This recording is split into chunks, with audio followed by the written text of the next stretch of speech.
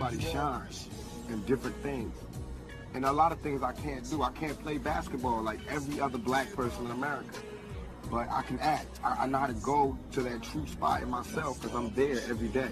I can be me. I can be whoever because I'm true to me. I can go to neutral easily. A lot of people, black, white, Mexican, young or old, fat or skinny, have a problem being true to themselves. They have a problem looking in the mirror and looking directly into their own souls.